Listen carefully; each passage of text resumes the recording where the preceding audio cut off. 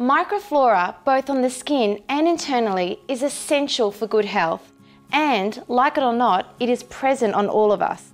Unfortunately, fungal or yeast overgrowth can sometimes result in skin problems. These include tinea or athlete's foot, candida, and ringworm.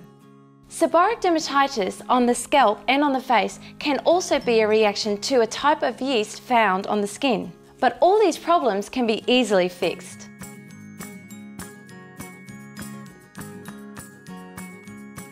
MooGoo's Eczema and Psoriasis Balm is a natural cream that is also antifungal. Because it is made out of edible oils, it is also used to treat candida and is safe for babies. For more information on any of our products, visit our website or email us at info at moogoo.com.au.